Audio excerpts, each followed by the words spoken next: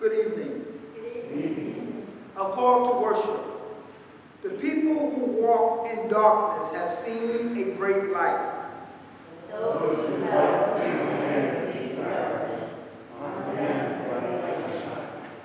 For every boot of the trampling warrior in battle turmoil and, and, and every garment rolled in blood will be burned as fuel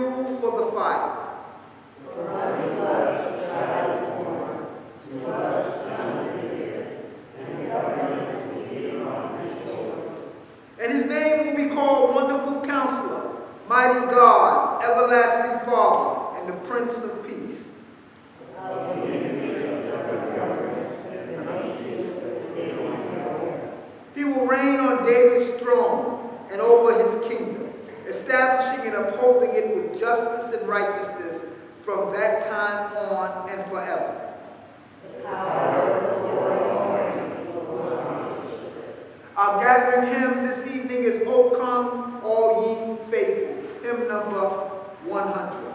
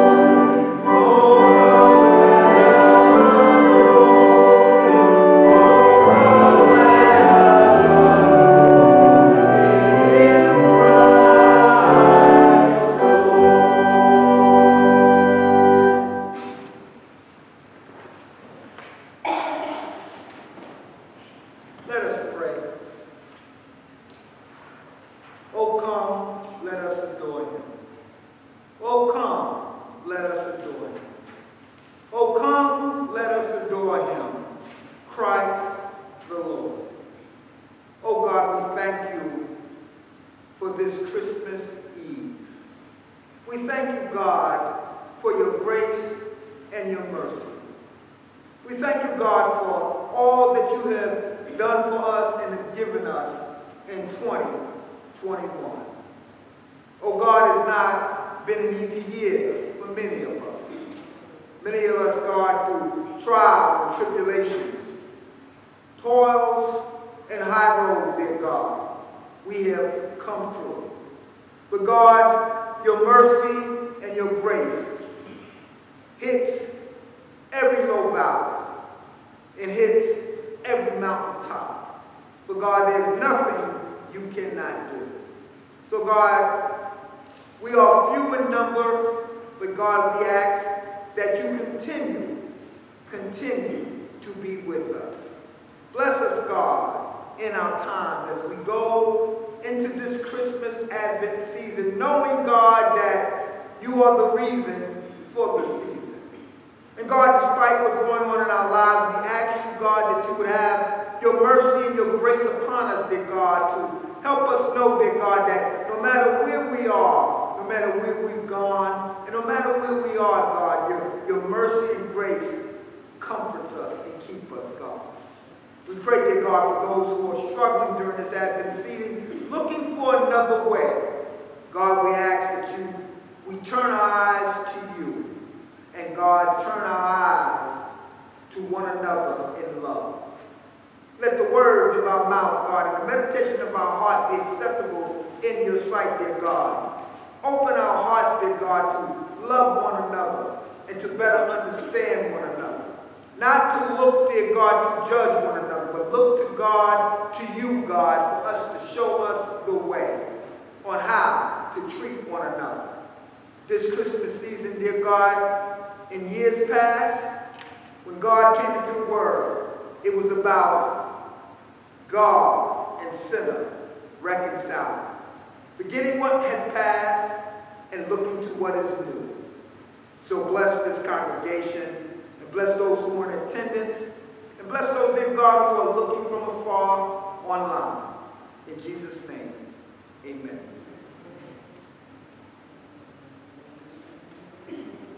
Our first candle is for the prophets.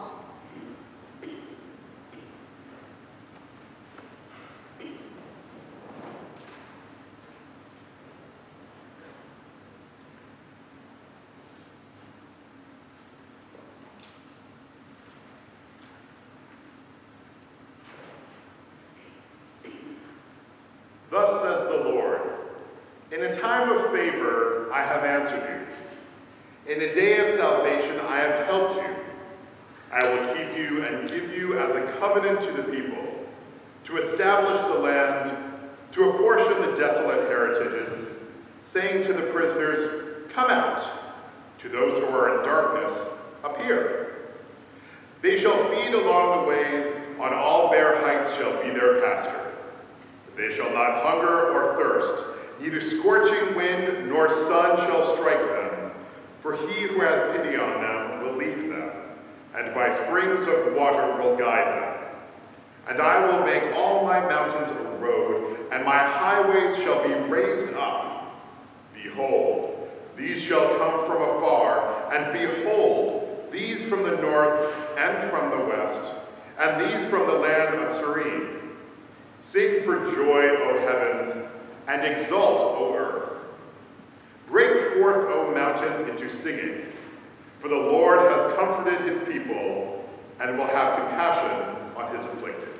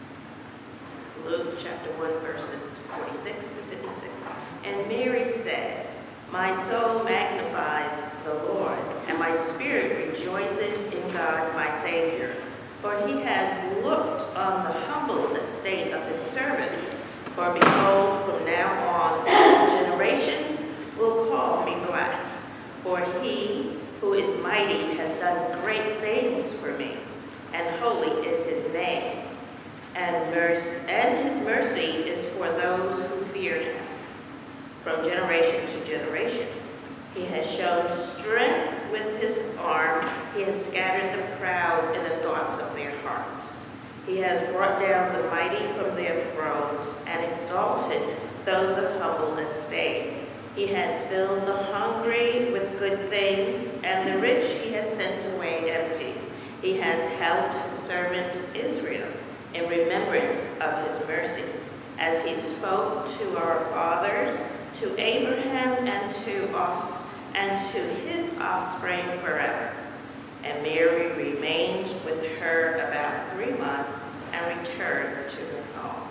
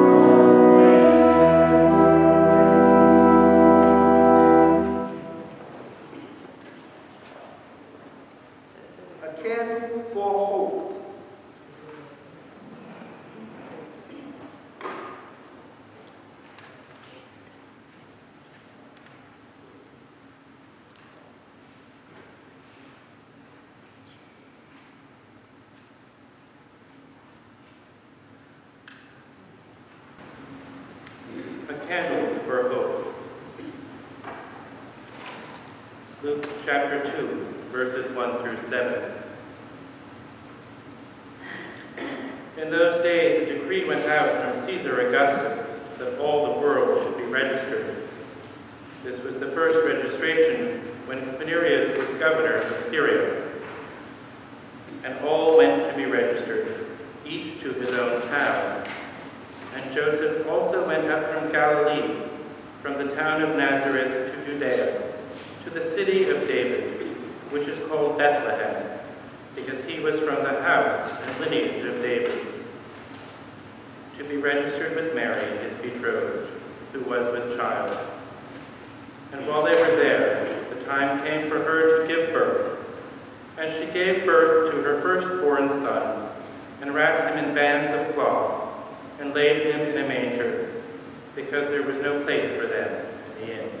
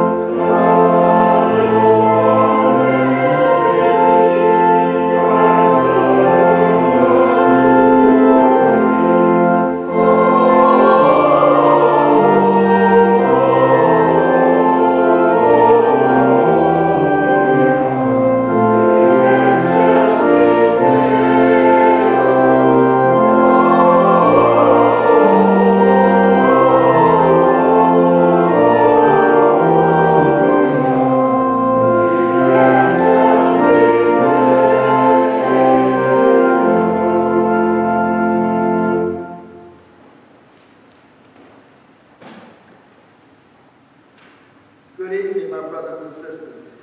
We thank you for this opportunity to share God's word. And just for a moment, a Christmas meditation. This year, like the last two years, have been some very difficult years for our country, our world, and our community. But nevertheless, on this Christmas Eve, for the few that are here, we are blessed to be in the presence of God and in the presence of one another. Dear God, I come to you at this moment thanking you, God, just for your grace and your mercy. Not taking for granted, dear God, that I am here based on my own self, but because of your mercy and grace. And so, God, for this few moments, let the words of my mouth and the meditation of my heart be acceptable in your sight, God, my strength and my redeemer. Christmas Eve. Christmas Eve. A new covenant.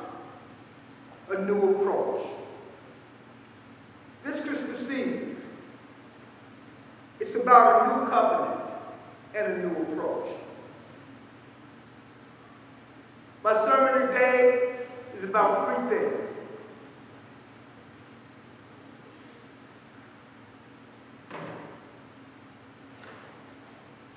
A star, a manger, the cross. a star, a manger, the cross.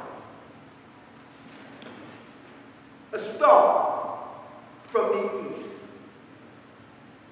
After they had heard the king, they went on their way. And the star they had seen when it rose went away ahead of them until it stopped over the place where the child was. And when they saw the star, they were overjoyed. On coming to the house, they saw the child with his mother Mary, and they bowed down and worship him. Oh, the star, the star from the east, where the babe, the Christ, the Messiah, would come into the world. The star by God, the star from the east, represents the hope of the world, the hope of a world that's dying, a hope of a world that was in turmoil, the hope of a world that was in confusion. But it was that star from the east that the three wise men saw, the star where they came to see this babe called Christ. This babe that would come into the world as the Savior. This babe that would come into the world as a person in divine and yet in flesh, but would be a person that would bring life and bring it more abundantly. This child from the east, the three wise men who saw this child, they come to a manger. What is a manger? A manger wasn't that beautiful crib. A manger wasn't that beautiful gold, beautiful uh, setup for a child that would lead those into another most heavenly place. But a manger was a place where animals ate from. The manger was a place where the donkeys and the horses and the cows all ate from. And yet, these three see this baby in a manger. The star, a manger. This manger, why a manger? What, what, what, does the manger represent? Well, what does it represent? It represents a time where Joseph, from the line of David, the father that would come through Jesus, the adopted father, not, not, not a biological father, but, but a father that God would appoint as an adopted slash foster father to bring the Messiah into the world. Well, why that way? Why is that so significant? Because we, so much as parents and fathers and mothers, we, we value when we have the opportunity to bring life into the world the natural way. But when God, this day, found a different way to do it, He came to Joseph in the middle of the night. He came to Joseph to say, You will be the father of the Messiah. Mary, a teenager. Mary, not knowing the gifts that she would bring to the world. Mary, a child, probably a teenager, but the age anywhere from 14 to 17 in biblical standards, is a person who had studied and knew about the Messiah coming. But did she believe and think that she, on this day, would bring a person into the world, not to overcome natural government, not to overcome and take over the Roman government, not to be necessarily the leader of the Jews, but to be a child, a human being that would bring peace among men and women. Those, this babe that we celebrate every year, this babe that comes into the world, we've commercialized. This babe that we've built great cathedrals and buildings around is a babe that comes in the most humbling circumstances. That this babe, and I want to stress to you about this babe, that this babe is born in a barn. This babe who the world will celebrate tonight throughout the world is what we call, is what we believe, the Messiah of the world. And yet I want to stress to you this evening what, what, what, what I have come to understand more, one of the most important gifts of life and important qualities that we can have as brothers and sisters,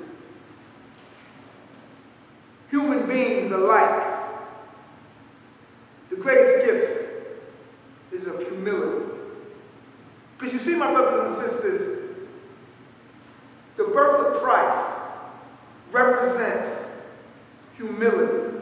It represents God coming into the world in a divine, perfect aspect. And whether you believe it or not, whether you think it's a story or not, I will say to you, it's a story worth noting. It's a story worth taking on because it has no opportunity to gain great pleasure and content of worldly value. Think about it for a second. A star, a manger, a feeding bowl for animals, and the cross. The three most maybe unassuming things that any human being would even look at. But yet God, in his own way, decided to come into the world in the most humble of circumstances. New journey, new way. The reason why I named it New Journey, New Way, because the way we've once done things and the way things have always been sometimes just doesn't work. So God saw in all the 39 books of the Old Testament, I've watched man try and try and try again. I watched women try and try again. I watched human beings try and try again, and they yet could not get it right. Pounce on each other, hurt one another, have one up on one another, take from another. And yet God says, I'm going to make it right. But I'm not going to do it the way the world does it. I'm going to do it in a way that will make you question what your purpose here on life is.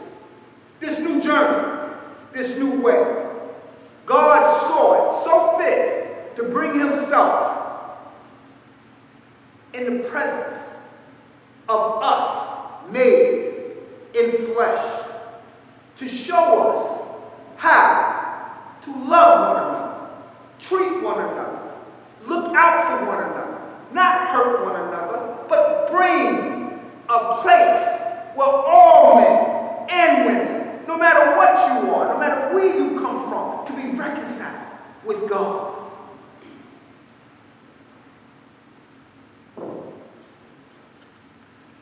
This cross, this cross is not about just looking at something that hangs over our head, our necks and look pretty. It's not about the Messiah laying there stretched out, but the cross represents God and human beings reconciled. For the first time in your life, you can go to God and say, no matter what I've done, no matter where I've been, no matter who I am, God loves me. And that's the key. That star from the east, that baby born in a manger, and yet the cross represents all of us, no matter what our walk of life is, that we would come to a new way, a new journey. For God so loved this world and loved us that he sent his only begotten Son, for whomsoever would believe in him should not perish, but have everlasting life. He didn't ask us to understand him. He didn't ask us to analyze him. He said, believe and trust. Trust in that I come to take your issues away. I understand, my brothers and sisters, when you look at what's going on in the world today, when you look at what we're dealing with with Omicron and the Delta variants and COVID and all that, yes, we're going through a difficult time, but I am convinced that nothing, and I mean nothing, as the Apostle Paul said, the forerunner, the person who would persecute Jesus, but the same person who wrote most of the New Testament said, For there is nothing that will separate me from the love of God in Christ Jesus. Not demon, not heaven, not hell, not trials, not tribulations. Nothing will separate me from the love of Jesus. So this Christmas Eve, this Christmas season, let us remember that that star from the east, those wise men that came to Jesus with gifts of gold, frankincense, and myrrh, when they told Herod what was going to happen, and Herod was so afraid of his political and physical position as the king of the Jews. Jesus came not to fulfill any physical position in government, but he came that he may give life to Herod, to you, and to me. That's what Christmas is about. It's not about just the toys. It's not about the gifts. Not about the wine. It's not about the celebration. Not about the trees. Not about the candles. It's about someone doing for us what we could not do for ourselves. I'm glad about that. I'm glad that despite who I am, that somebody loved me and you enough to say, I'm going to come in the world. But I'm going to come, Charles, not in the ordinary circumstances. I'm going to come as a baby. And I'm not going to come in a great big castle or mansion. I'm going to come in a bomb. And I'm not going to come in a bomb, but I'm going to be laid in a place where animals eat. And it don't smell well. And yet, not only that, but I'm also going to go to the cross. I remember when Jesus was going to the cross, he, he, he said to Peter, Peter, I can send many angels to protect me. But he said, this must be fulfilled because it's not about my flesh and blood, Peter. It's about my soul. It's about your soul. And that's what Christmas represents this season. It represents a new way, a new direction, a new direction for God, not a way of religion. Religion's important. It's wonderful. But if your heart is not right with God, it means nothing. Because God's going to ask every one of us, no matter what we believe, you can believe what you want to believe. God's going to always ask us, what did you do with my name? How did people know who, you, who I was? Did you share my love? Did you forgive? Did you look past? Did you give to that person who didn't deserve as I've given to you who don't deserve? Have you looked out for the least of these? That's the question for all of us. We ponder that. Yes, I like big buildings. I love this church. I love the fact that I can go and drive nice cars. I love the fact that we have cars and have positions. But what does it mean in the midst of our fellow human beings? And that's why that star, that manger, and that cross is so significant on this Christmas day. We always talk about the baby in the, in the manger.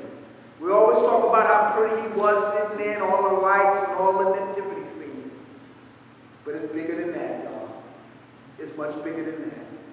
It's about the Savior coming into the world and turning the world upside down. You can believe or not believe. You can think it's just a story, or you may say it's not a story, whatever. But I tell you what I believe. I believe that he loved you and I so, so much, so, so much, that nothing, and I mean nothing, could separate him from his love. And that's what Christmas is about. Christmas is about the love that God has for us. And that same love God wants us to bestow on one another. And it's not the type of love always where I get along with everybody. But it's the type of love that says I can step out of my comfort of not loving you and still love you. That, for me, I need. I need to know a God that's going to love me despite me. I need to know that a God is going to look out for me when I'm not looking out for myself. I need to know that little baby came in a way that, that I myself was born in a different way. But that father, Joseph, was able to say, you know what? I'm with you, God. I don't understand this, but I'm going to go with you. That's the faith that Joseph had. That teenage mother getting called in the middle of the night saying, hey, you're going to bring the Messiah in the world. What? Messiah? From what I read in the Old Testament, me, this poor girl from Bethlehem, not going to happen. That, for me, is something I can hold on to. Because God loved Mary and Joseph enough to bring the Messiah in the world. He loves all of us the same. And that's why he died. And that's what Christmas is about. It's about the star, the manger, the cross. Amen.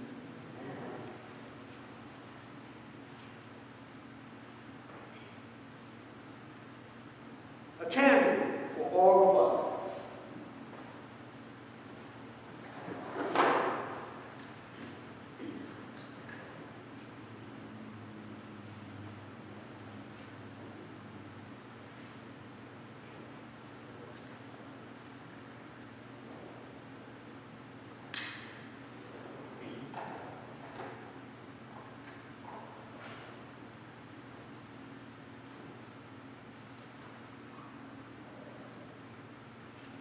And his father and mother marveled at what was said about him. And Simeon blessed them and said to Mary his mother, Behold, this child is appointed for the fall and rising of many in Israel, and for a sign that is opposed. And a sword will be pierced through your own soul also, so that thoughts from many hearts may be revealed. And there was a prophetess, Anna, the daughter of Premium, of the tribe of Asher. She was advanced in years, having lived with her husband seven years from when she was a virgin, and then a widow until she was 84. She did not part from the temple, worshiping and fasting and praying night and day. And coming up at that very hour, she began to give thanks to God and to speak of him to all who were waiting redemption of Jerusalem. And when they had performed everything according to the law of the Lord, they returned into Galilee to their town of Nazareth. And the child grew and became strong, filled with wisdom, and the favor of God was